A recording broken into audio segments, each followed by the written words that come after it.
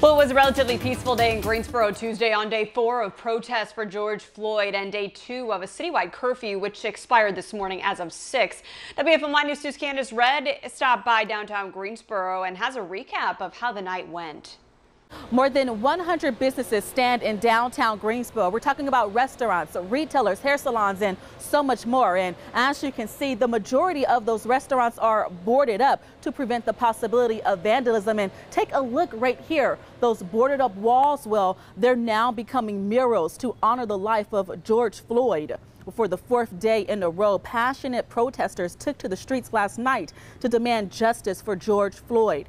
They marched on Elm Street, Eugene Street, and Gate City Boulevard.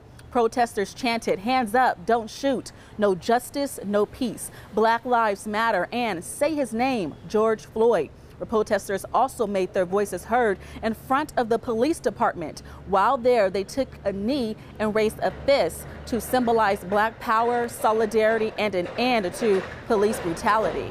We've had a few, we had some rioting, we had some looting going on, but I want the, the narrative to be no, this was peaceful.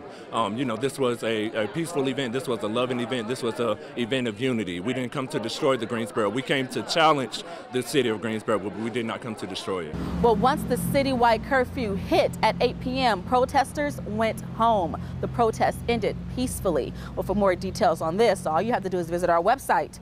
That's WFMYnews2.com.